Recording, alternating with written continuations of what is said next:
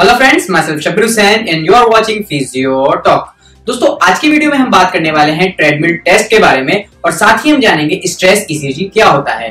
तो चलिए शुरू करते हैं आज की वीडियो को।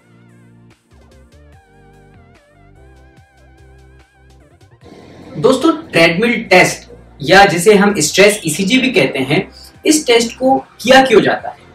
जब कभी भी आप एक्सरसाइज करते हैं तो ये देखने के लिए कि एक्सरसाइज का आपके दिल पर क्या असर हो रहा है, इसलिए हम ट्रेडमिल टेस्ट करते हैं।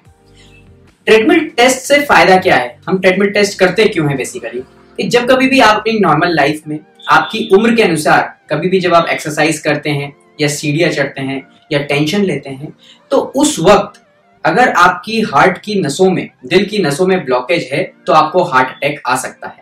तो इसलिए वही सेम सिचुएशन हॉस्पिटल में पैदा की जाती है। और ट्रेडमिल पर जब आप दौड़ते हैं तो उस एक्सरसाइज के दौरान आपकी ईसीजी e नोट की जाती है। और अगर उस ईसीजी e में फ्लक्चुएशन आते हैं ज़्यादा तो ये सस्पेक्ट किया जाता है कि आपके दिल के अंदर कोई एबनॉर्मेलिटी है या आपके दिलों की नसों में कोई ब्लॉकेज है। तो इसलिए ट्रेडमिल टेस्ट किया जाता है।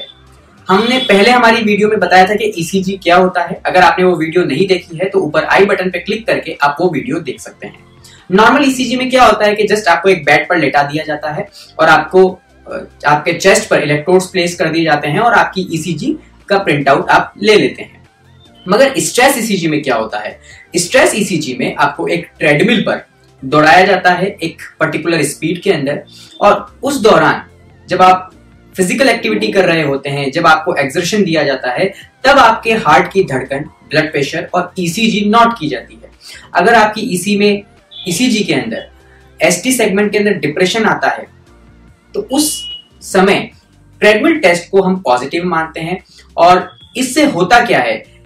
आपको अर्ली आपकी जो भी हार्ट में प्रॉब्लम्स हैं उनको अर्ली डिटेक्ट किया जा सकता है और सही समय पर उसका इलाज शुरू किया जा सकता है। तो ट्रेडमिल टेस्ट के फ़ायदे ये हैं कि अगर आपके हार्ट के दिलों की नसों के अंदर कोई ब्लॉकेज है तो उसका हम पता लगा सकते हैं। अगर आपके हार्ट के अंदर कोई एबनॉर्मल रिदम है, या एबनॉर्मल रिदम के अंदर आपका हार्ट धड़क रहा है तो वो भी ट्रेडमिल टेस्ट के माध्यम से पता लगा सकते हैं।